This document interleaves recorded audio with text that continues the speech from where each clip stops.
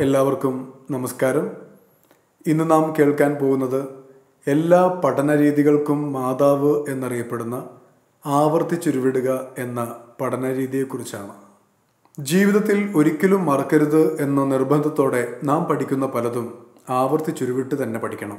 കാരണം ഓർമ്മശക്തി കുതകുന്ന ഇതിലും നല്ലൊരു പഠന രീതി ഇന്നു കണ്ടെത്തിയിട്ടില്ല. ഒരാൾ ഒരു കാര്യം ആവർത്തിച്ചുരുവിടുമ്പോൾ ചെവിയും നാവുമടക്കമുള്ള ഒന്നിലധികം ഇന്ദ്രിയങ്ങളെ അയാൾ പഠന പ്രക്രിയയിൽ ഉൾപ്പെടുത്തുകയാണ്. ചിലർക്കെങ്കിലുമുള്ള ഒരു തെറ്റിദ്ധാരണയാണ് ആവർത്തിച്ചുരുവിടുക എന്നത് മുതിർന്നവർക്ക് ചേർന്ന പഠന രീതി അല്ല എന്നുള്ളത്. അത് തികച്ചും തെറ്റാണ്. ആവർത്തിച്ചുരുവിട്ടുള്ള പഠനം ഏതു പ്രായക്കാർക്കും ചേർന്ന ഒന്ന് തന്നെയാണ്. ഒരു കാര്യം ഓർക്കുന്നത് നല്ലതാണ്. വരമൊഴി ഉണ്ടാകുന്നതിന് മുൻപ് അതായത് എഴുത്തുഭാഷ കണ്ടുപിടിക്കുന്നതിന് മുൻപ് വാമൊഴിയായിട്ട് തന്നെയാണ് തലമുറകളിൽ നിന്നും തലമുറകളിലേക്ക് അറിവ് പകർന്നു നൽകിയിരുന്നത്. ഗുരു ചൊല്ലിക്കൊടുക്കുന്നത് ഏറ്റുചൊല്ലിയാണല്ലോ ശിഷ്യഗണം ജ്ഞാനസൂക്തങ്ങൾ ഹൃദ്യസ്ഥമാക്കിയിരുന്നത്. കവിതകളും കണക്കിലെ സമവാക്യങ്ങളും മഹദ്വചനങ്ങളും മഹാന്മാരുടെ പ്രഭാഷണങ്ങളും പല ഭാഷകളും പഴഞ്ചൊല്ലുകളും അങ്ങനെ പലതും ആവർത്തിച്ചുരുവിട്ടാൽ അവ നമ്മൾ തന്നെ മാറിക്കൊള്ളും. ഇന്ന് നിങ്ങൾക്ക് തരുവാനുള്ള ഗൃഹപാഠം ഇതാണ്.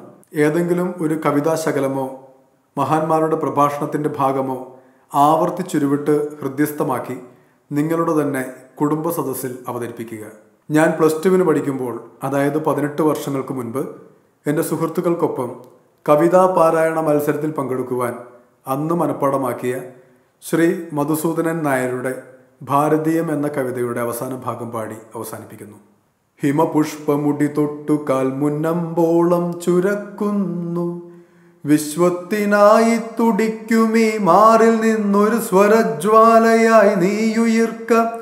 ഒരു തുടിത്താളവും എടുത്തുകൊള്ളുക. നിറകതിർപ്പീലിവേലേറ്റുകൊള്ളുക ഭൂഹൃദയ രേഖകൾ കുറിച്ചുകൊള്ളുക. ഭ്രമണചക്രങ്ങൾ കടന്നുകൊള്ളുക.